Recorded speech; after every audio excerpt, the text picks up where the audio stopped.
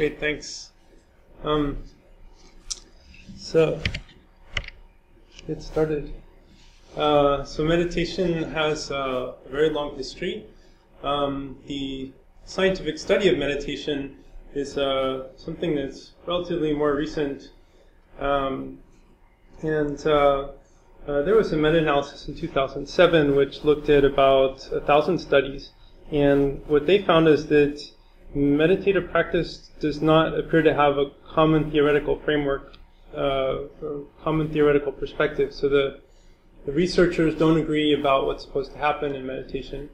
And so, um, uh, so we have a lot of findings, but we can't really integrate them or draw uh, draw much conclusion from them. And um, this has kind of been the, the state of the, the field for a long time. Uh, Delmonte, uh, 1987, complained about it, and um, then there hasn't been much progress. And again, in, in uh, 2009, um, is pretty much the same situation. So, I mean, I, uh, I like what Carrington said about meditation. She said, uh, meditation is when the mind is alert with having any object of awareness, uh, there's lots of other opinions.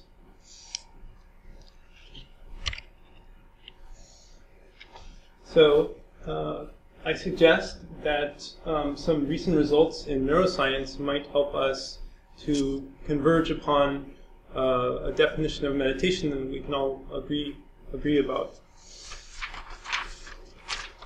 Um, so Arne Dietrich, uh, he looked at neuroscience evidence on dreaming, uh, altered states of consciousness, like dreaming, endurance running, meditation, daydreaming, hypnosis, drug-induced states, and flow.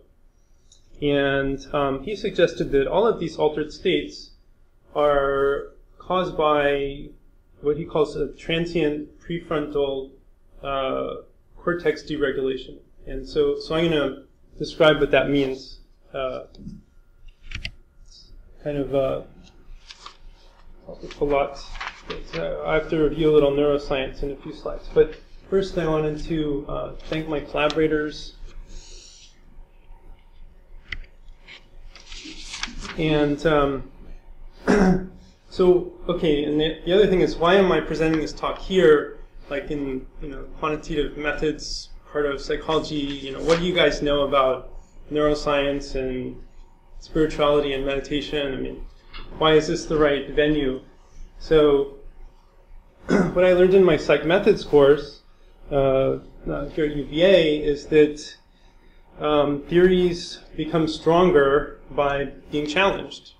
So it's, it's important to try to falsify theories, and by trying to falsify them, we learn something, and, and the theories become stronger. They either fail come up with a new theory, or um, the, the, we, we learn the boundaries, the boundary conditions of the theory. Uh, so um, it's, it's been kind of a challenge working with the religious studies department. I tried to uh, even announce this talk on their mailing list, and uh, I, I, I got pushback from them. They, they, like didn't even want to announce it, didn't want to tell their graduate students that it's happening. So, um, uh, and, and it's not just like a, a, policy like that they don't send certain kinds of email to their grad students. Um, I've actually had the experience that, that certain people in religious studies don't even like my hypotheses and they, they don't want to test them.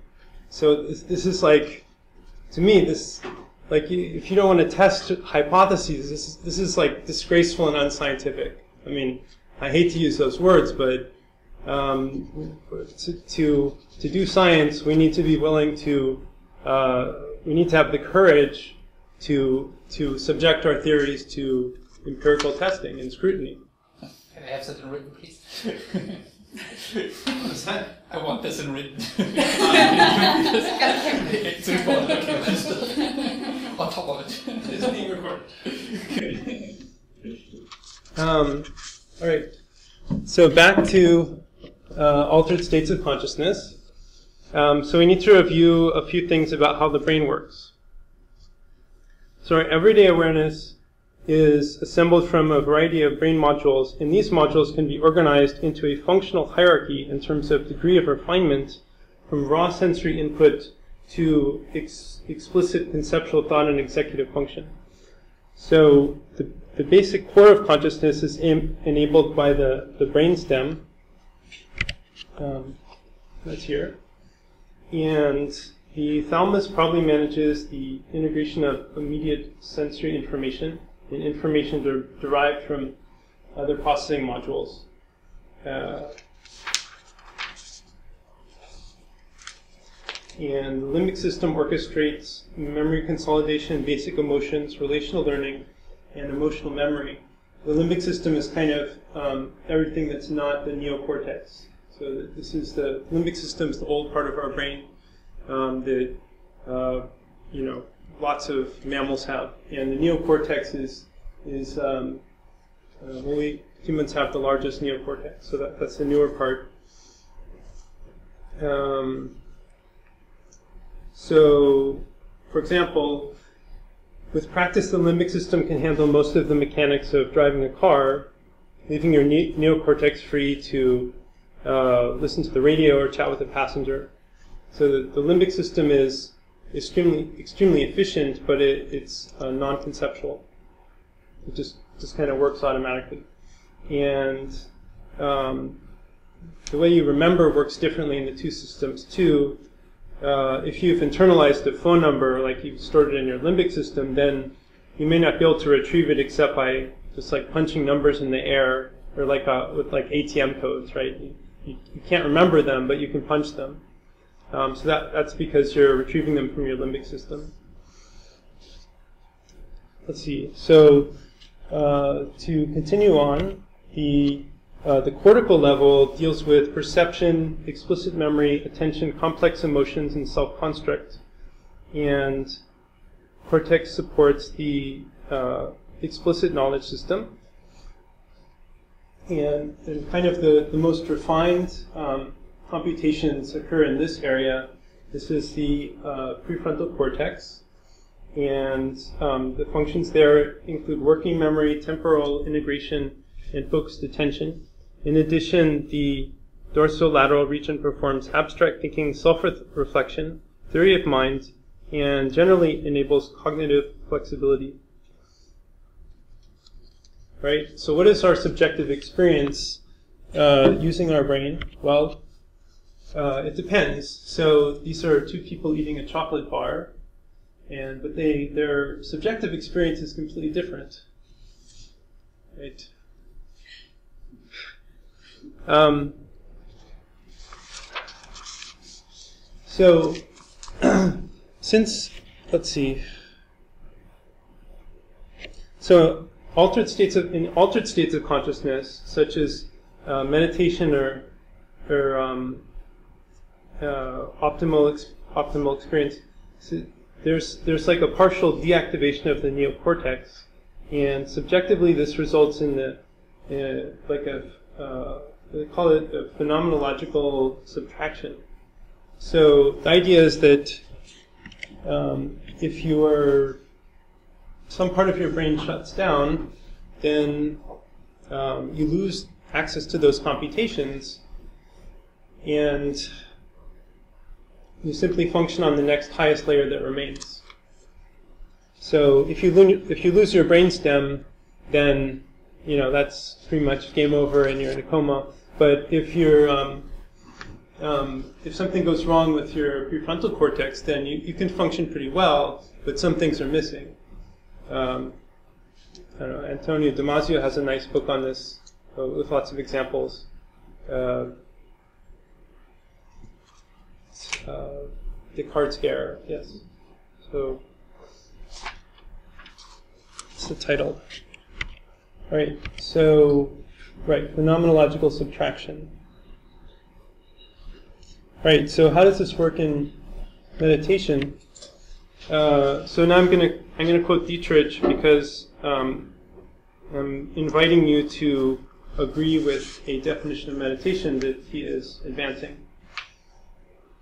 He has proposed that meditation results in transient hypofrontality, with the notable exception of the attentional network in the prefrontal cortex The resulting conscious state is one of full alertness and a heightened sense of awareness, but without content. So, phenomenologically, meditators report a state that is consistent with decreased frontal function, such as uh, sense of timelessness, denial of self, little, if any, self reflection and analysis, little emotional content, little abstract thinking, no planning, and a sense of unity. Right, so that, that's his uh, proposal.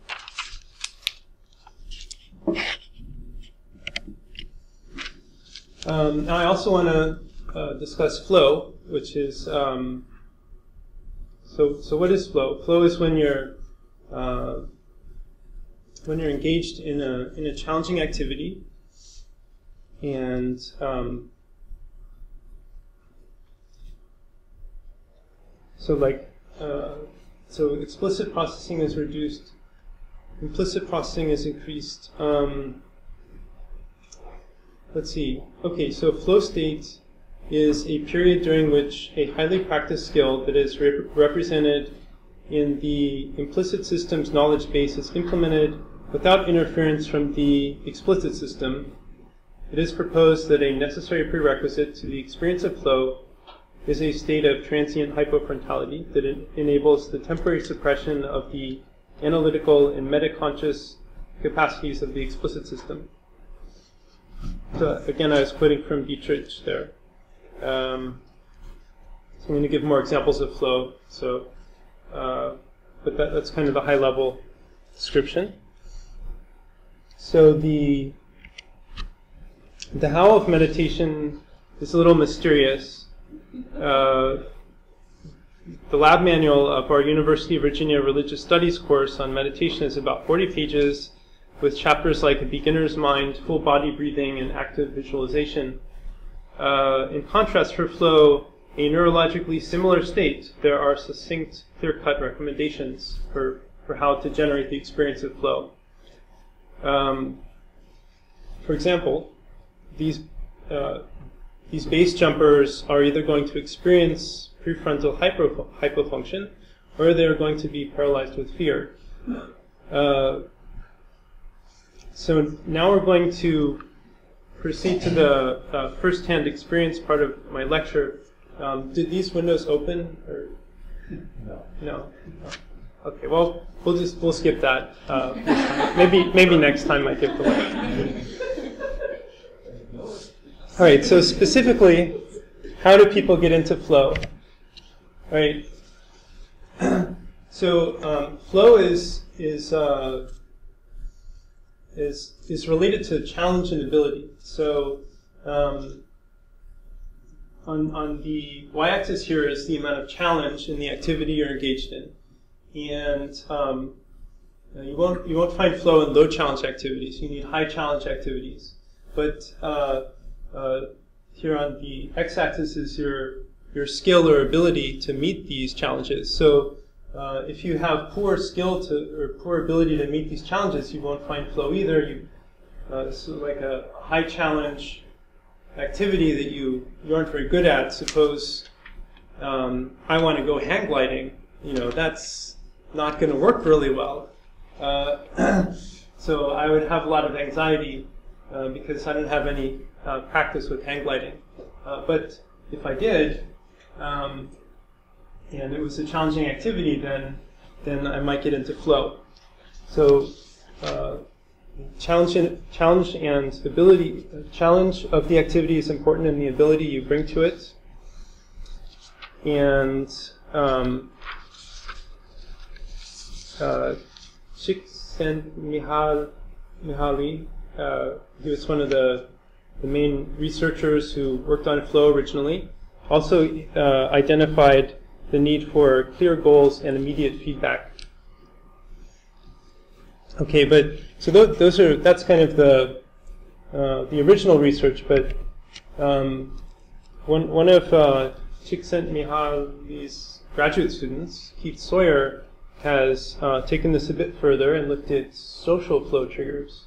So social flow is something that happens um, with jazz musicians or you know, sometimes with uh, in, in uh, sports like basketball where a group of people all kind of uh, get into flow together. And um, so uh, Keith Sawyer identified a bunch of uh, uh, triggers for uh, the social flow, um, and some of them are similar to uh, the, the original conditions, the four conditions, challenge, uh, skill, and so forth, but there are some differences. So um, I'll just, I'm not going to go into all of them, but uh, I just want to um, give, give you a little more information about some of them.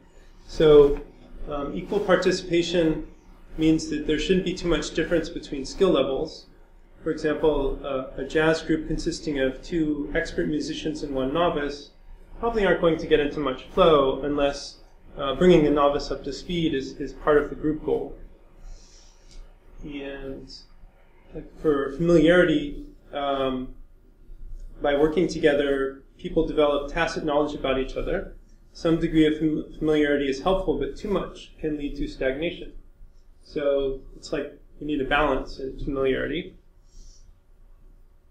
And for uh, sense of control um, is also a balancing act because individual members need to feel in control while at the same time be willing to defer to the emergent trajectory of the group.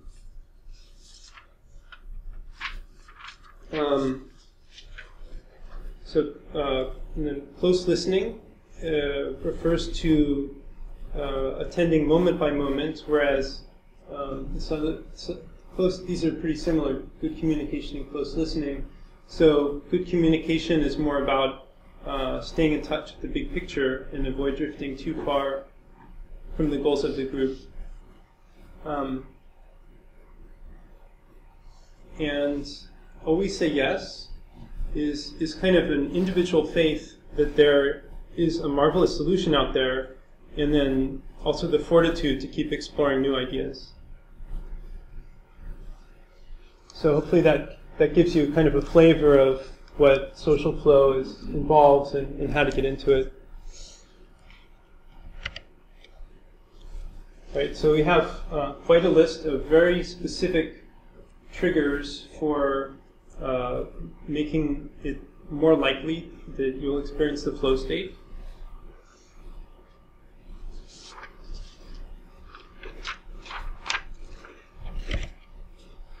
Right. So now I wanted to let's see. Oh, so uh, this recent paper in 2004 uh, observed, as I did, that uh, Arne Dietrich's descriptions of flow and meditation are are very similar, and um, in fact, there are uh,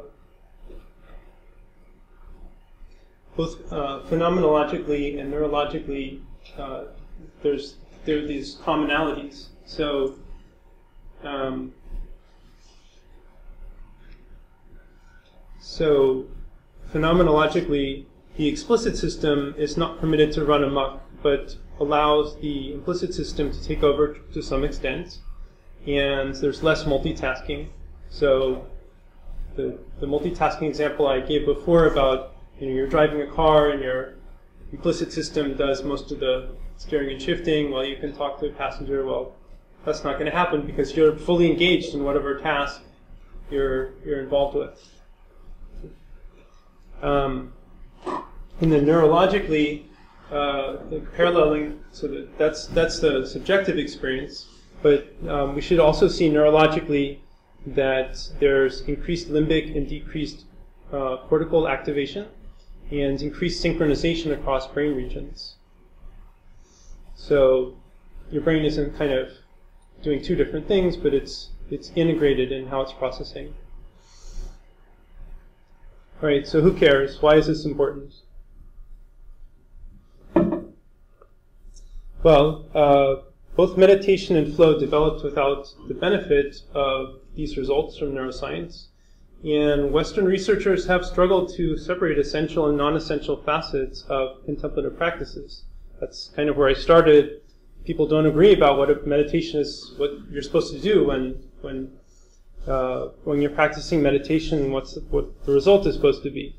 For example, uh, uh, mindfulness, uh, I believe, was developed by Jon Kabat-Zinn, uh, was the result of secularizing traditional Buddhist practice. So he decided, well, you know, you probably don't have to, uh, uh, you know, give away all your possessions and and wear a single garment and, and shave your head. Um, you know, those those parts of uh, Buddhist practice are not important, and what's important is the mindfulness part, right? So he made he made a uh, uh, an informed judgment, and that that's how we have a, a secular idea of mindfulness now. Yeah. Um, so another example is there's there's a persistent line of research that has examined whether uh, meditation um, reduces physiological arousal faster or m- more efficiently than simple rest. You know, people have said meditation is good because it makes you feel relaxed, right? But uh, so, but, but that's that's saying that that relaxation is the essential part, and the other part is not essential, right? So that it's making a judgment there. Um, so, so this neuroscience evidence allows us to propose the specific hypothesis that uh, the ties, that's the uh, transient implicit explicit synchronization that, that uh, we see in both of these experiences is the essential part and the rest is non essential. So that's what I'm inviting you to agree with.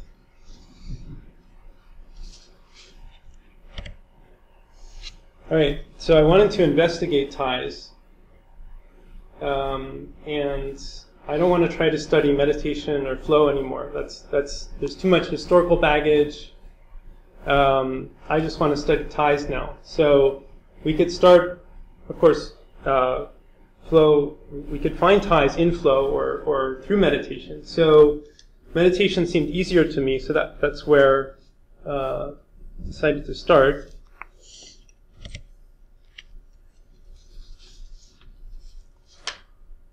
Of course, the I didn't want to study meditation the old way, so uh, so the old way is we don't know what meditation is. We don't know if that cat is doing meditation now. Uh, with this model, we can I mean we can examine if if something you know meditation uh, is correlated with with these benefits, but um, it's hard to it's hard to really understand the mechanism. Uh, so I propose a new model, and this model should give us a lot more power to de de detect effects compared to the old model. For example, some participants who practice meditation uh, experience ties. However, some participants who claim to meditate may not be experiencing ties at all. So the old model would just average all those people together because they say they're doing meditation, right? But with the new model, hopefully we, we can find independent measures of ties. So then we can uh, separate out the people who are actually experiencing ties from those who are just doing contemplative practices. And we should have a lot more power to detect effects. Um, the other thing to notice about this model is it's a, uh, we can we can test statistically whether uh, there's a direct effect from these contemplative practices or flow triggers to uh, the outcome measures, or whether uh, there's or whether it's mediated by ties. So, you know, let's let's uh, subject it to empirical scrutiny.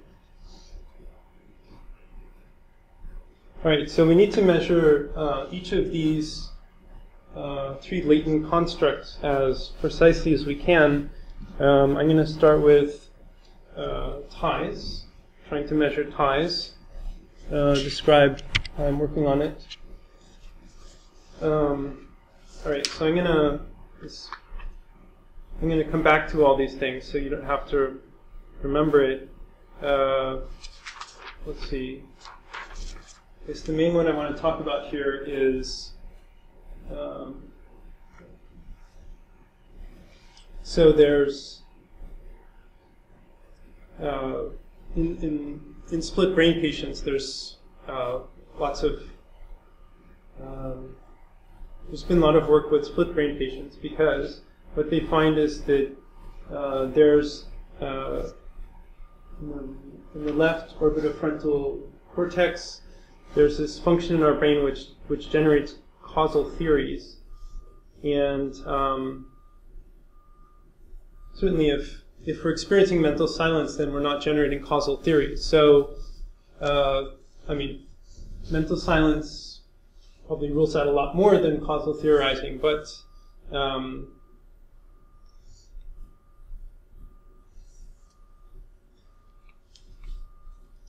so the, the uh, so this this is this chart isn't is uh, trying to get at what what kind of phenomenon are subtracted from our subjective experience. That that's so uh, that's how I propose to measure ties. Is we should see phenomenological subtraction.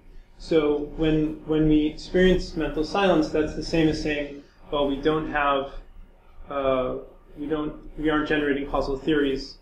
Um, in fact, we probably aren't. Um, there's probably a lot of thinking that isn't isn't going on. So so the same same thing goes on. Uh, same idea for these other rows. So uh, distinguishing self from other, there's some evidence that that's, uh, that computation is done by a right parietal lobe.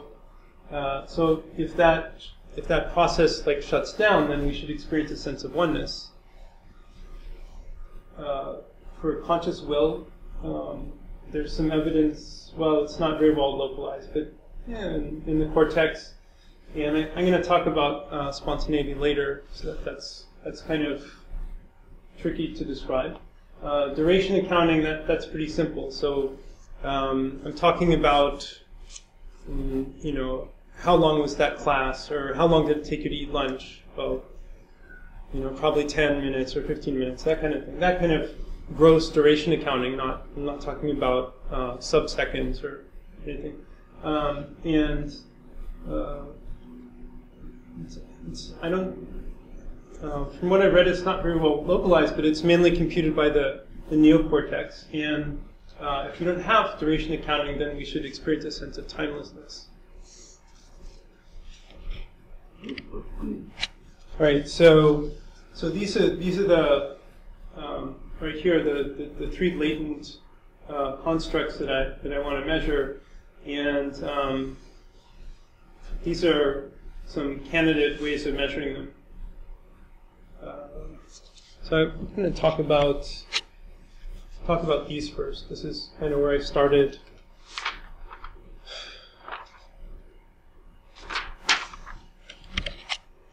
All right, so this is cross-sectional data. So um, it looks like a great correlation, but who knows what's going to happen when we when we try to look at it longitudinally. Um, uh, yeah, so a barrier item, so that there's this latent barrier factor that I'm hypothesizing, and uh, two items from that are I'm afraid of what will happen if I stop thinking, and it takes too much effort for me to experience complete mental silence. Uh, for training, um, during the last 30 days, how often did you allocate time to experience or try to experience complete mental silence? Um, and how many people have you met who are convincingly familiar with complete mental silence? Uh, so those are, those are just some sample items for training. And sample items for mental silence. I allow myself to experience complete mental silence ask them. And uh, during structured sessions, approximately how long did your longest experience of complete mental silence last? Of course, if they're experiencing timelessness, then it may be hard for them, hard for them to estimate. But maybe we can get some kind of some kind of data from that. Uh, so this this has a, a, great R squared of of uh, 0.43, but again, uh, this is just cross-sectional. So may not hold up. Um, all right, so I've collected uh, more cross-sectional data um, from our human subjects pool here in psychology. And the way to read this chart is that this is positive affect from the PANAS. So, uh, let's see, positive affects. Well, cor correlations with positive affects, of course. Um, item, items are interested, excited, strong, words like that. Uh, these, the data are zero inflated because, of course, undergraduates don't experience mental silence very often. So, um, so if you include all the participants, then you see correlations of zero. But what you can do is you can uh, pick a minimum uh, tie score and exclude everybody that has a lower score than that. So, um, so minus 1.5, uh, the the uh, if, if you look at this point on the x-axis, then uh, everybody who had a score that was lower than negative 1.5, basically everybody who doesn't experience mental silence or, or doesn't experience it very much, then we do see a uh, significant positive correlation in cross-sectional data um, for, for ties, but not for training. Yes, so, okay, so the dashed line, okay, what's the dashed line?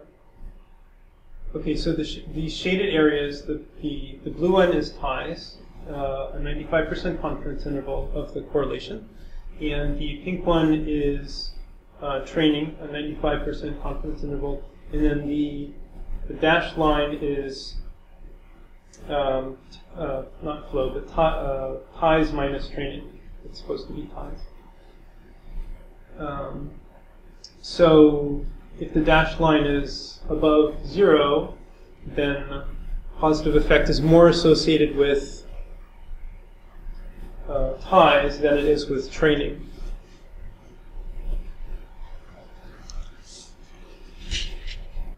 This the x-axis is the excluded, yes. So negative 1.5 means everyone who's below negative 1.5 has been excluded. Everyone above is included in this data. That's right. Cross sectional. Right. Uh, so, so that's uh, PANAS positive affect. Um, let's also look at some self-actualization measures. There's uh, previous research has suggested that people who meditate are more self-actualized. So, um, and that's what I found cross-sectionally. So the, this is a, you can see kind of the same pattern in these plots, where um, the uh, if, if we go to x-axis of minus one, then environmental mastery is there's a statistically significant correlation. So okay, so what is what is environmental mastery? Let me give you some example items. In general, I feel I am in charge of the situation in which I live. I am quite good at managing the many responsibilities of my daily life. And, uh, and here's autonomy. Um, this is also uh, statistically significant correlation. I have great confidence in my opinions, even if they are contrary to the general consensus. And I judge myself by what I think is important, not by the values of what other think, others think is important. Those are autonomy example items. So, this, these are all the same kind of plot, just with different outcome measures. So these um, these are good candidates for exploring longitudinally.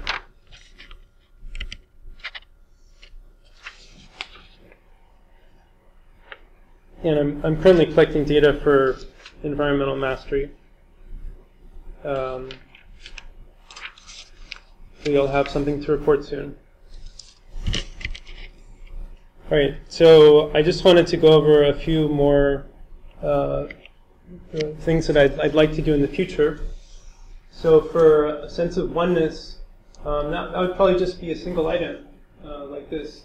During the session, to what extent were you aware of your physical location?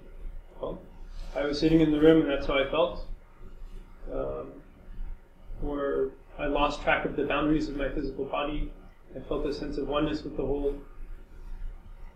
Uh, a sense of oneness was profound and persisted for a few hours after the session. So that's that's the kind of item I'm considering adding uh, in a future study.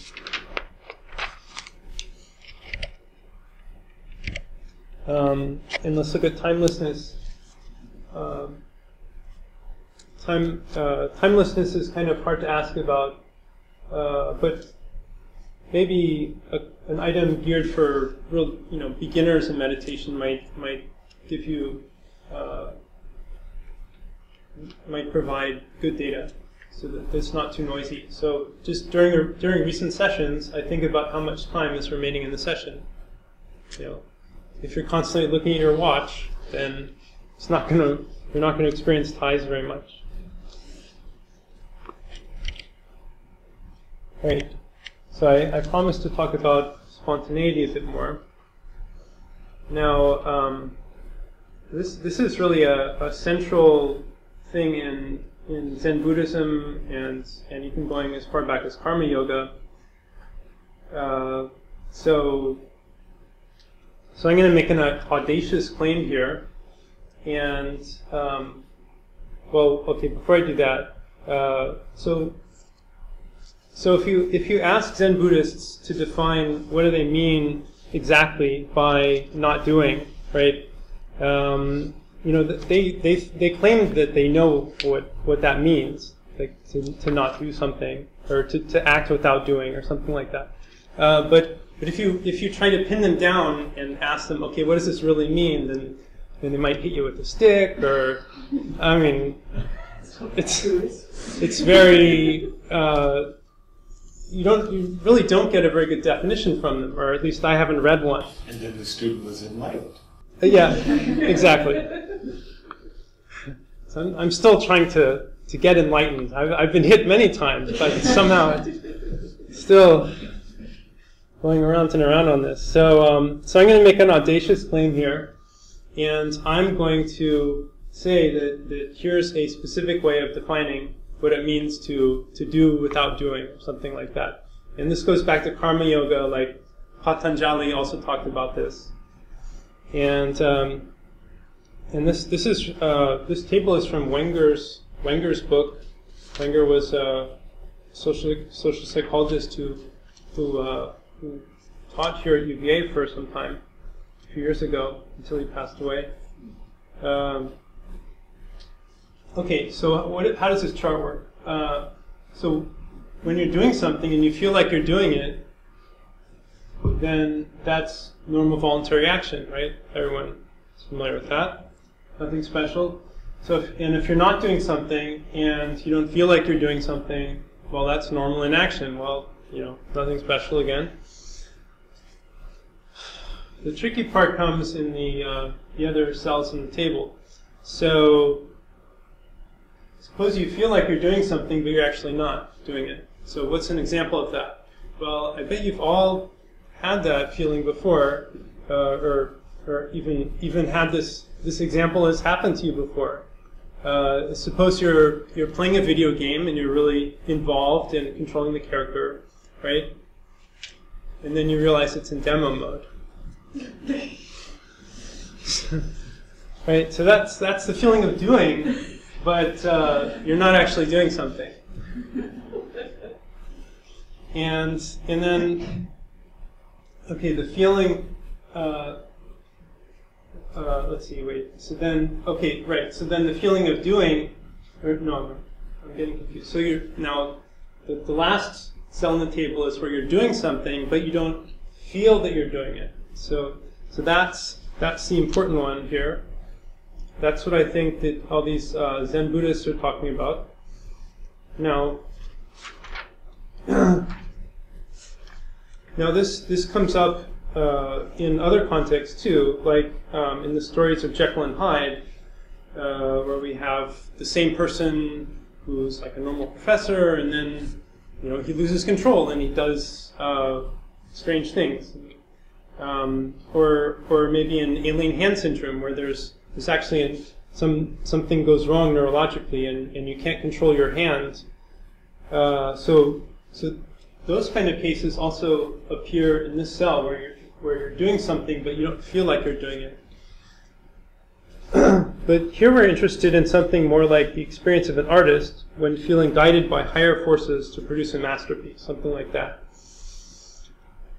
So, um, so this this has also been called uh, automatism, but um, for the for the kind of for the kind of things we'd like to talk about, I think spont- spontaneity is a better description. So,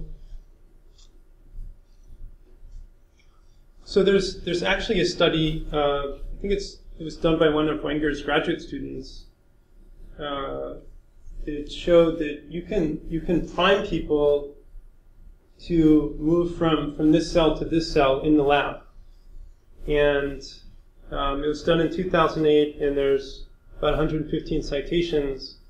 Uh, but I think we we could do.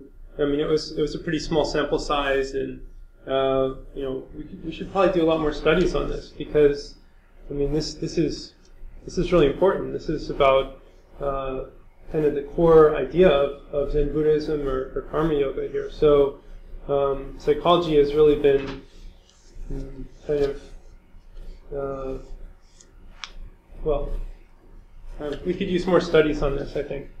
And um, see, to, to give you kind of an idea of, of how this prime works is, uh, uh, in, at least in India, um, one of the ways people people do this, they just uh, try to move from, from here to here is they, they say like, they recite to themselves like, uh, mother is the doer, I am just an instrument of her will, or, or, or, God is the doer, I'm just an instrument of his will, that kind of thing. And, and um, by just kind of repeating that to yourself, uh, they, may be able, they may be able to move themselves from, from when they're doing something to feel like they're doing it, to feel like uh, they're, they're, they're not doing what they're doing, and that they're being controlled by like higher forces.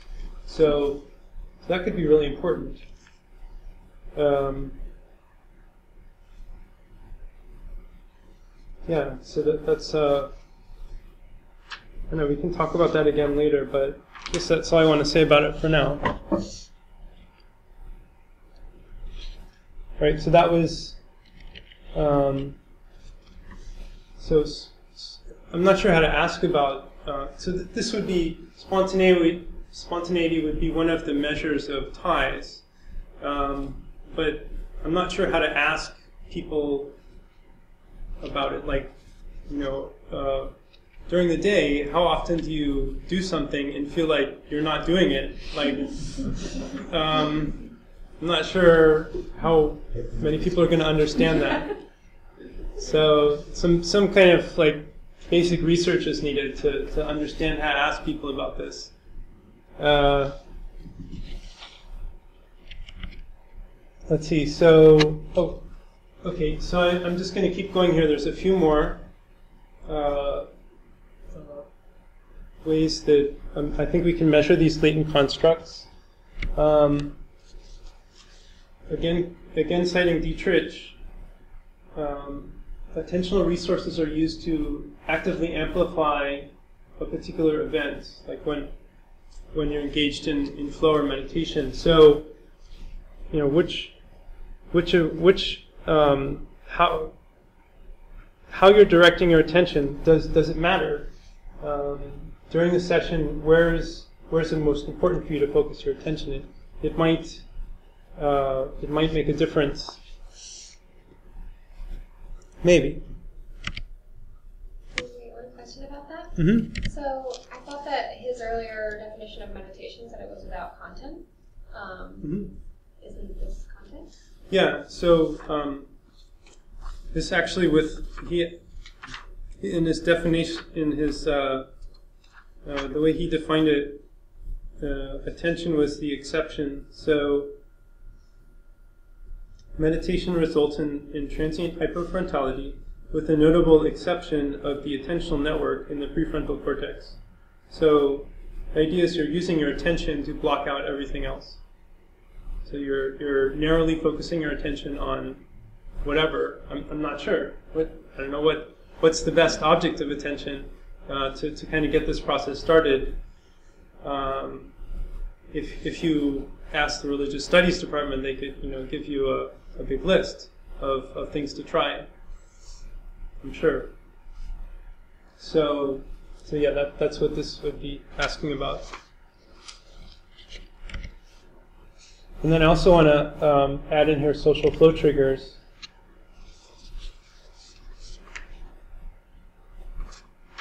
So uh, many people construe their meditative practice as a solo art. Can we recruit social flow triggers to support meditation? Uh, in some Buddhist and Hindu traditions, spiritual progress is thought to be bolstered by adopting a celibate life without possessions. And the Catholic Church has sometimes imposed obligatory clerical celibacy. Um, so, uh, to take a step back here, I'm, I'm mostly interested in meditation, but this the, the question of family also comes up in flow. Uh, so, Steve Steve Kotler wrote wrote a book on flow recently, and and um, one of the things he wrote is, what what about the lacrosse star, you know, who really enjoyed lacrosse, who graduates into a job as, as an accountant, much needed to feed her family, right? Or the mother of three who used to do some sculptures, and you know, she was she loved sculpturing uh, when she was younger, but now has no time for herself, right? So so family is is is it an obstacle? I mean, it's it's a it's a question that comes in, in, in flow as well as in, in, from meditation perspective.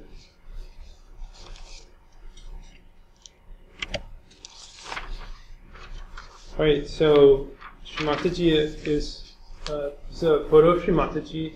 She was a contemporary spiritual teacher and passed away in 2011. And in, in addition to the usual contemplative practices, she proposed the intensive study and expression of the maternal nurturing side of our personality. So this is similar to the Buddhist concept of Sangha, but she elaborated and expanded on it in hundreds of lectures.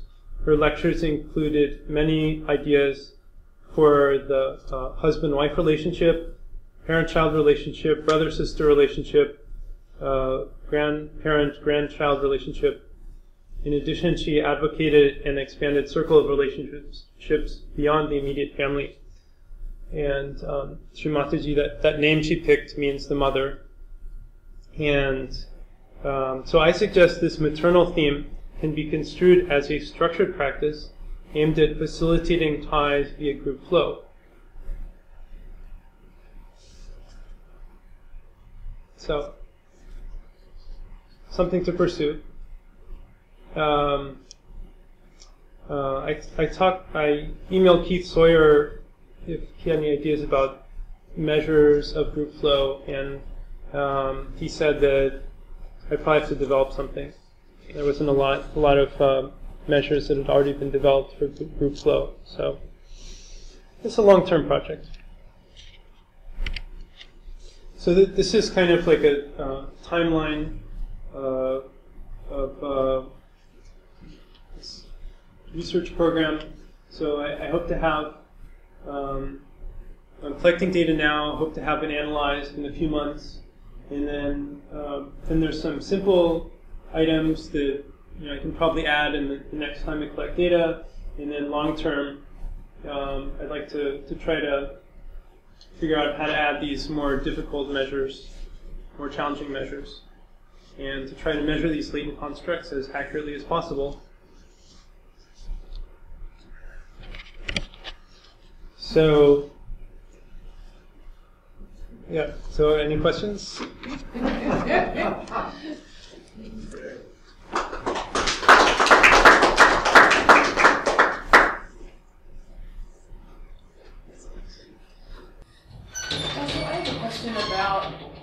one your later slides, I have lots of questions, but I wanted to start on this one because I might be re- most reasonable question to ask, which is the the four two by two table where you talked about doing or feeling of doing and not feeling of doing and spontaneity. There Yeah. you go, back there. Yeah. So I'm going to oversimplify this, and then you can say that's just limited. But you know, when I think about no feeling of doing but doing, I think of activities that you know, like when we talk about driving the car or riding a bike. I don't think about it at all. And sometimes, if it's not a rigorous or vigorous activity, you really don't notice you're doing, and all of a sudden you might go from one place to another. Would you call that a spontaneous activity? Or that's really just the wrong domain. Um, Yeah. Um, so uh, you're asking if if some activity that's not uh, all enveloping uh, could be considered spontaneous, right? And I think it I think it is.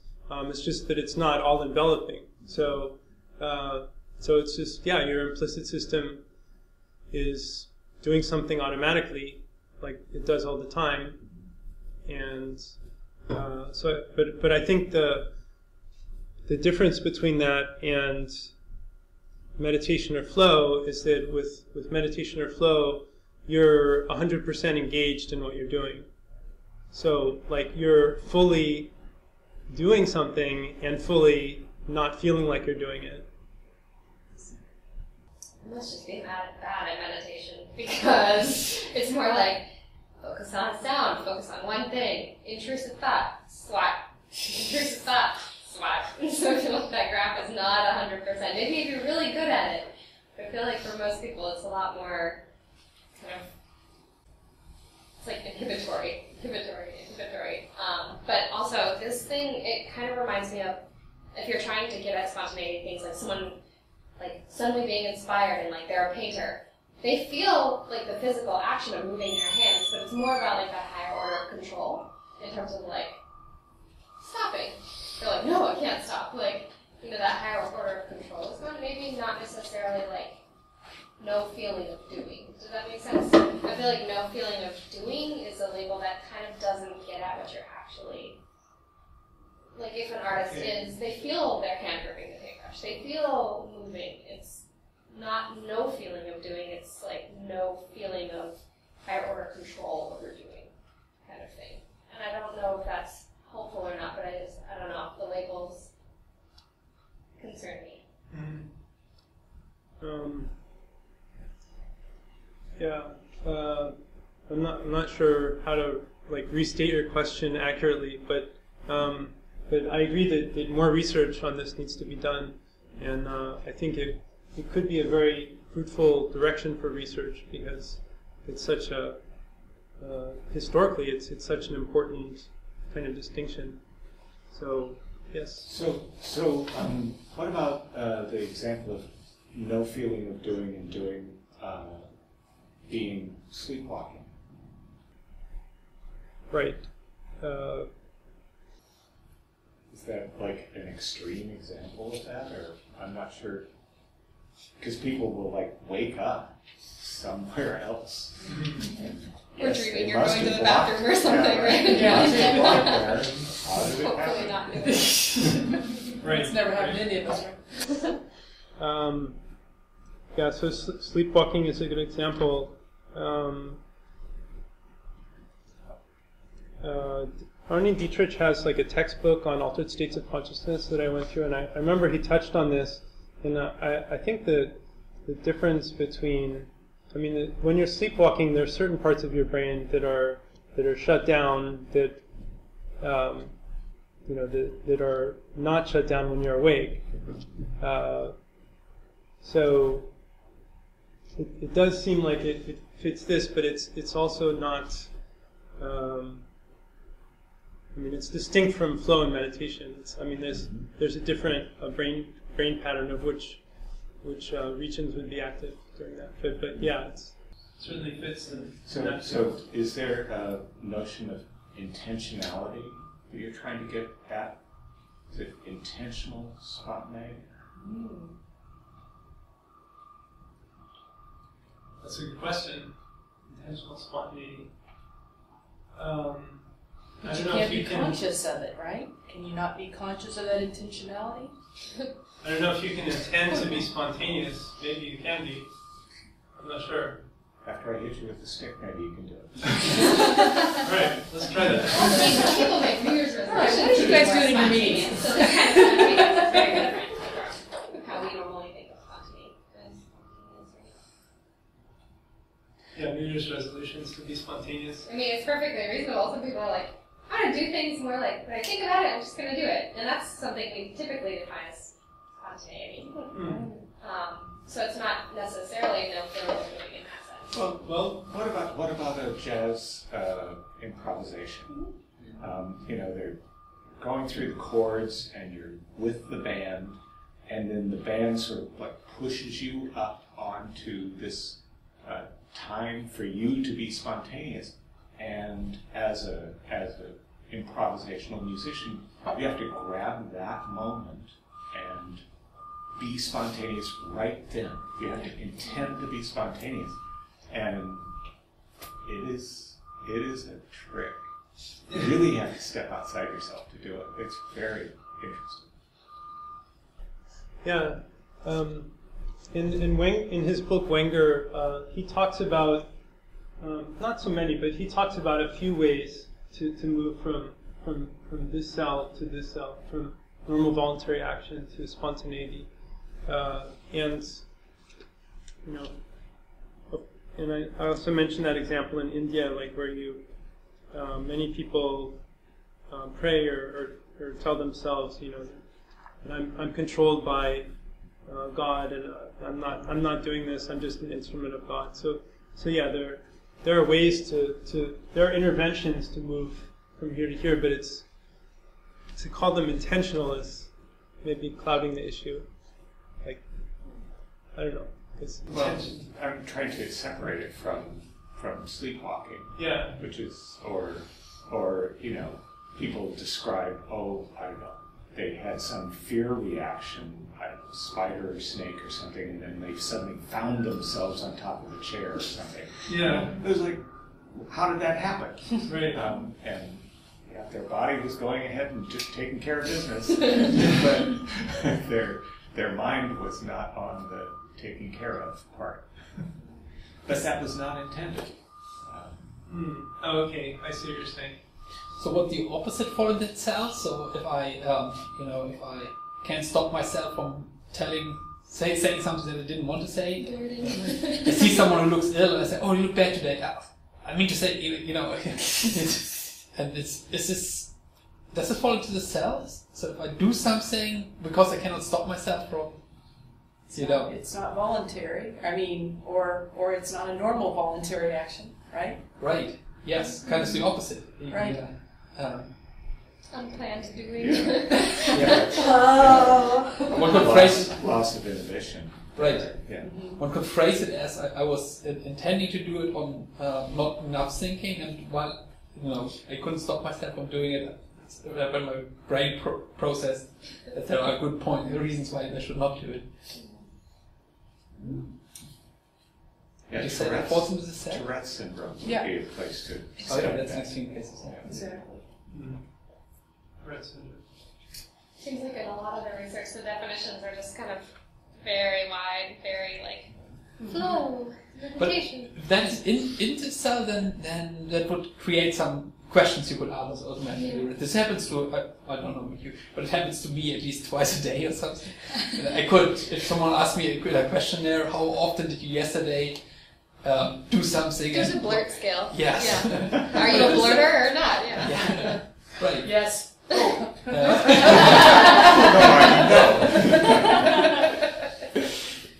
Yeah, that's interesting stuff. also, um, oh sorry. You go ahead. Uh, I was wondering for this and for other things, um, how we could methodologically avoid that uh, we get the confound of getting aware of this. So in, in this cell, um, you know, if I'm more experienced, and I am more experienced of saying stupid things from time to time, I'm also more experienced of saying something right afterwards, which makes it sound like it's not so bad. um, I'm more experienced in covering up for it. right, and I, and I probably am more aware of it than, um, you know, people who are typically very aware of what they're doing at this moment, are less confused uh, than I am from time to time.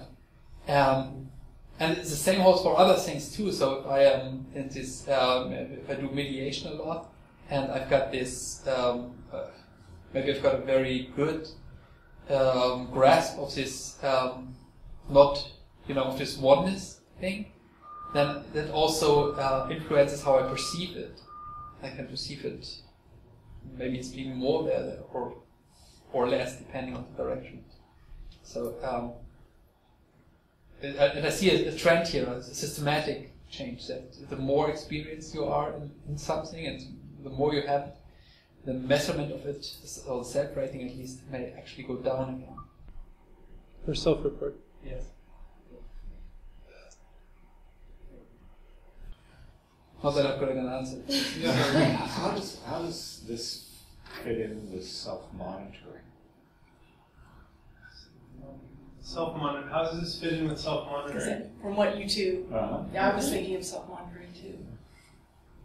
So is self-monitoring feeling of doing, and and then controlling the action?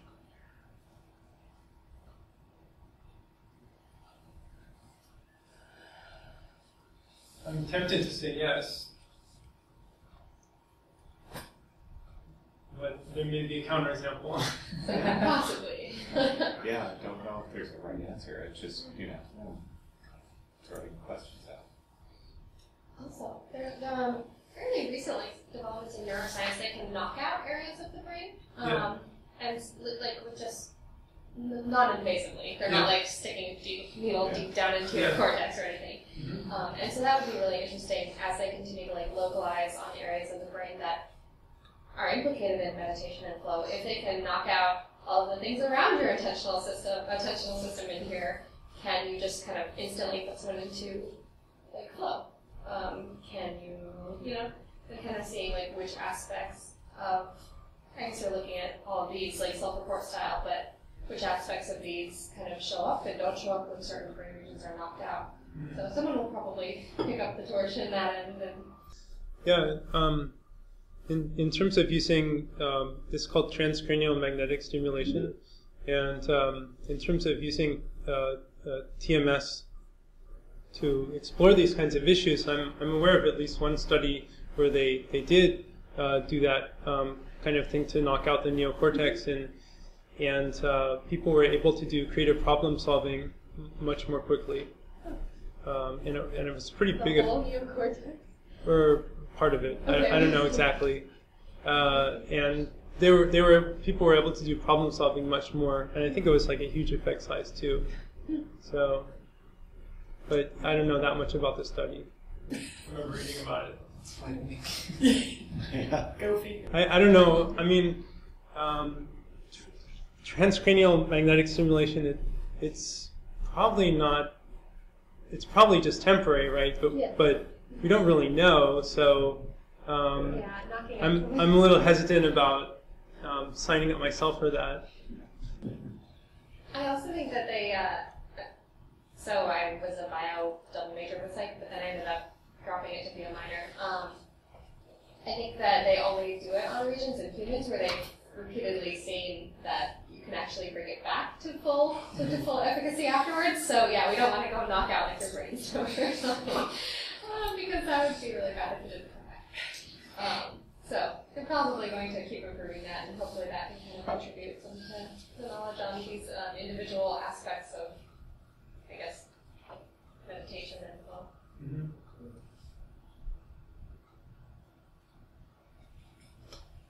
I do have a question about the graphs. Um, I, I um, didn't.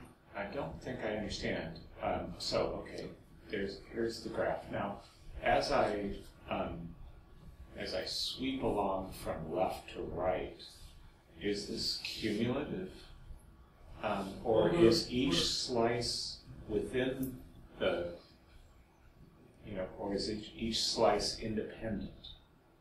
Do you see what I'm saying? Yeah, um, right, so you're asking if, if the, uh, so which participants are in each slice? So, um, these, these participants, um, that are included here are in all of, it- all of them. Mhm. And, and so, so, uh, so it's cumulative from this side, basically. So that, so someone who has very high, um, very high reported experience of mental silence, they're going to be included in all of the uh, correlations. But someone, someone with a little bit lower, um, they'll just be included in all of these, but excluded from these.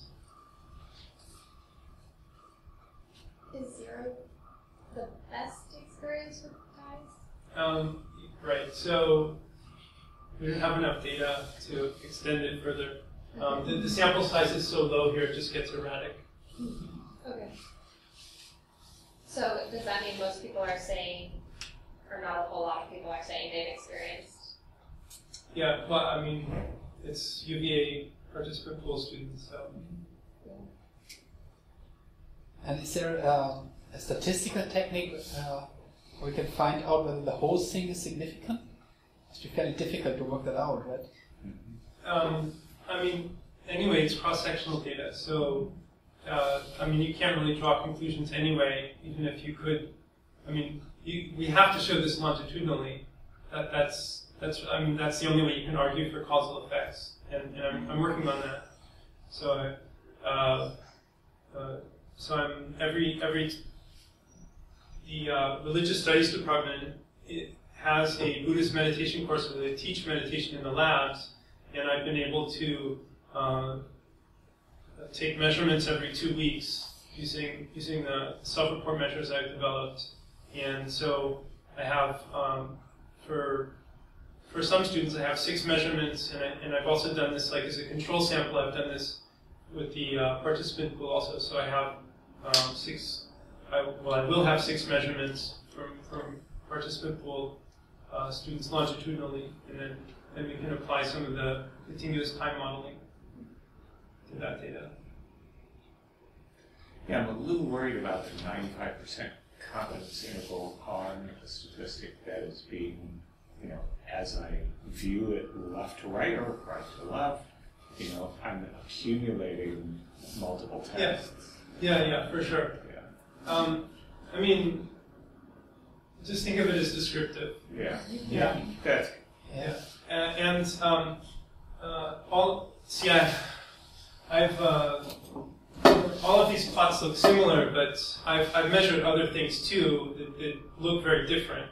So um, if I included those other plots, then I could show you, oh, this this is more associated with training and not associated with uh, mental silence. Um, but I, um, I just I don't have it on, on a slide. It's an interesting way of showing this. It's just a graphical part where we wouldn't believe in the leftmost point because we have too many people who actually don't uh, have any ties. And we don't believe in the rightmost point because we have not enough participants. Right. So probably, yeah. uh, Do you want to have another balance. slide that just says, ignore this part? Yeah. Maybe there should be a, de-emphasize. a way of computing the uh, null distribution of that. Uh, by nothing else than by simulation. Um, it's, you know, it's, uh, even if it's just correlation, that's of course true, but uh, correlation is already a big part of the, the story. So, yeah. Yeah, it seems like maybe some sort of bootstrap could help here somehow. Um, you know, multiple sample size bootstraps. right.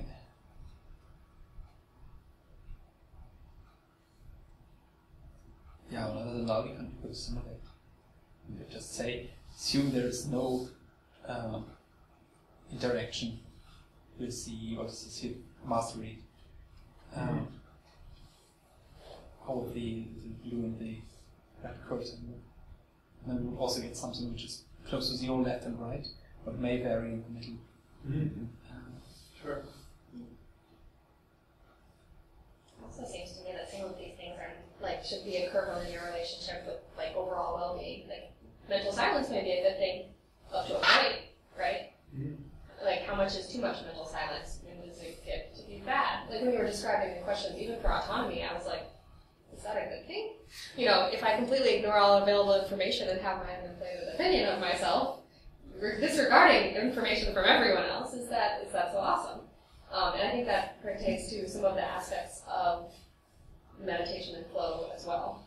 Like, how much spontaneity is really a good amount. Um, does it have a your relationship with the being? Is there a bad amount? Um, similarly to that, with all the different facets of these ties that you've listed, you know, people may have relative strengths and weaknesses that would define their unique characteristics within that. You know, um, yeah. So I might, I, yeah, I might be amazing at mental silence and maybe not so spontaneous. For example, mm-hmm. or I might, you know, the, the profiles within ties might be really very interesting to see because right now we're just you're just trying to define it. And eventually, that will be if those are really key features. Not saying I'm not doubting that they aren't, but you know, seeing how people vary in profiles on that and what it means to vary in profiles on those would be very interesting. You got a lot of work in you. Yeah.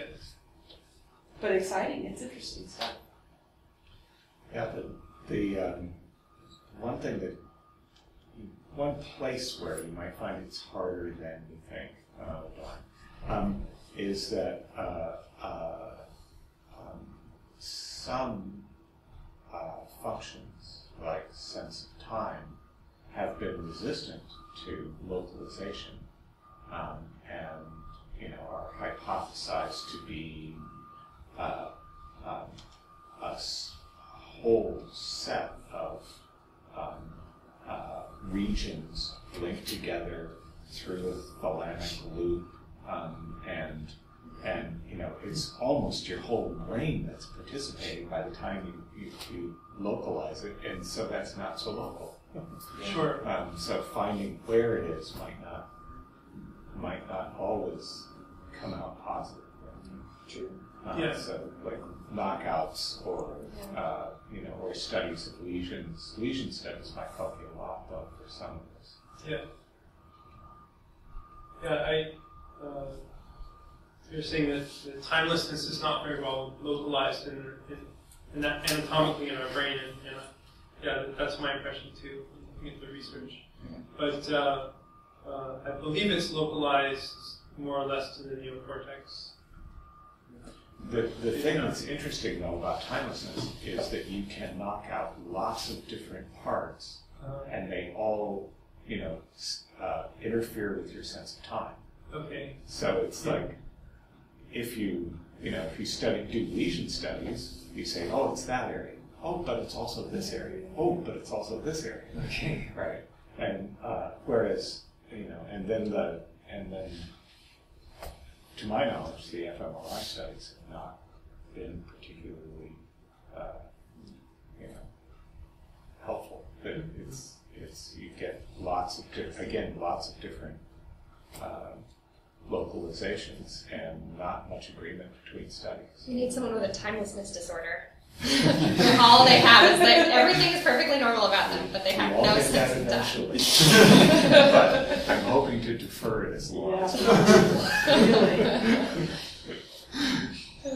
Yeah, you don't function very well without fellas.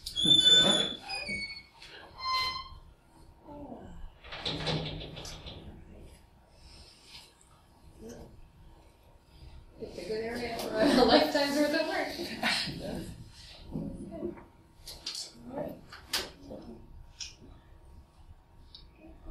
All set? Thank you. Thank